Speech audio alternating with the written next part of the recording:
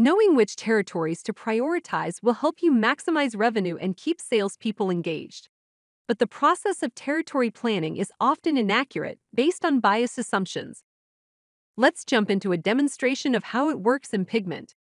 Everything is property and attribute driven, so when loading data in for account territory carving, as well as scoring and segmentation, we need a number of account level metrics and properties.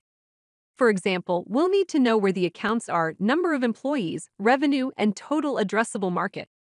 As we continue to go a little deeper, there are other data points that will be required. In this situation, we're interested in how our territories are defined. We have our lowest level geographies over here on the left and here we're defining what the parent-child relationships are. If these definitions need to change, for example, if I wanted to add additional layers to this hierarchy, it's very easy to do so within the Pigment model without any additional administration as the platform is property and attribute driven.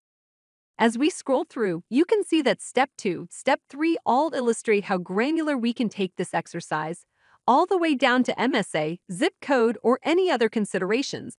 It's up to you.